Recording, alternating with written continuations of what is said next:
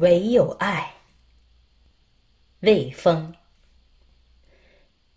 两千零九年十月六日凌晨三点，美国硅谷一个与普通人家无异的寓所里，电话铃声骤然响起。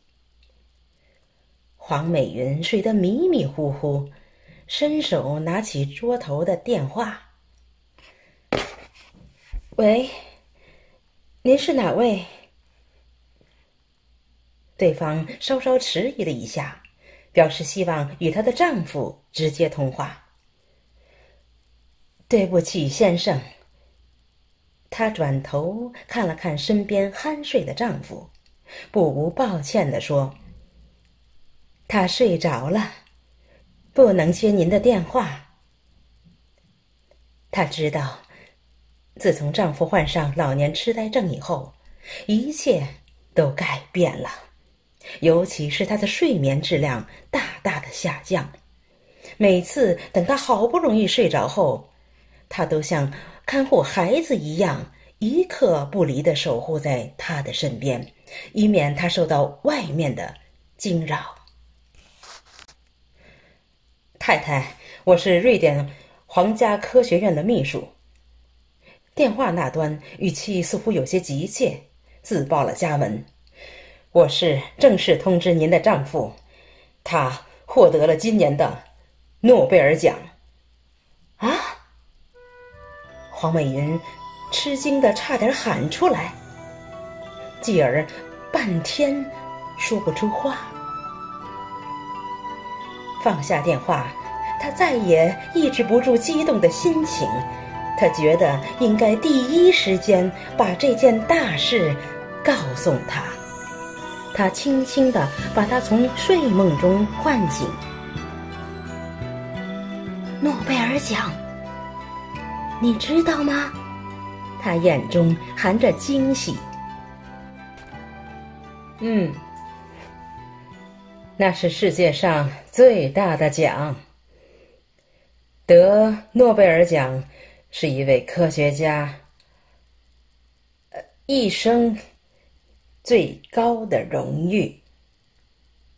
他望着他，平静的说道：“给你的。”他说：“啊，这次轮到他的惊讶了。”天亮后，寓所门外早已等候着各路的记者。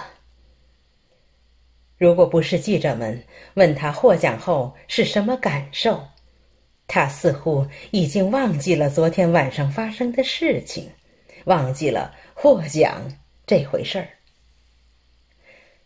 在他简短的表达了自己获奖的感受后，他对身边的记者说：“我现在最大的喜好是散步、打网球，还有……”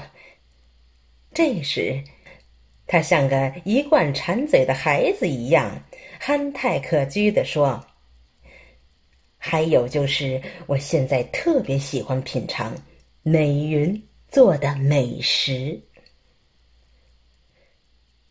在接下来的一段日子里，因为获得诺贝尔奖，他和他平静的生活彻底被来访的记者打破了。面。甚至面对朋友、记者、同行，甚至政要的贺词，语言滞缓、不时失意的他，对每一个人说：“我现在不太好，讲话很难。”末了，他总是不忘竭力的道出心底的一句话：“他很好。”大家都知道，准确的说，现在全世界都知道，她就是黄美云。大半辈子致力于研究光纤技术，被世人称为“光纤之父”，获得两千零九年诺贝尔物理奖的科学家高锟，对于过去的成果，几乎忘得一干二净。许多事情都可能成为过眼的烟云，但唯有和妻子半个世纪以来相濡以沫的感情，无法从他的记忆中抹掉。